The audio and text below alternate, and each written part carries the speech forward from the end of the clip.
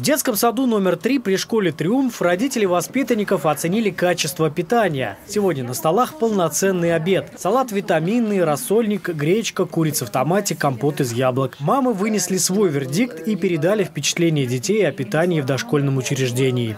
По поводу питания очень довольна. Она все кушает, все ей нравится. Ну, мама говорит, как дома, как у бабушки. Все очень вкусно. И первое, и второе, и салат. Компот тоже вкусный. Яблочный, мне очень понравилось. В детском саду четырехразовое питание. Меню обновляется каждые 10 дней. Есть и нововведения.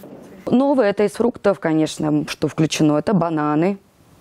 То, что детки не получали раньше.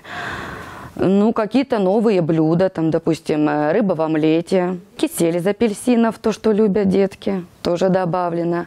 По итогам контроля родители могут оставить рекомендации по организации питания в дошкольном учреждении. Принять участие в родительском контроле может любой. Необходимо обратиться к руководству дошкольного учреждения.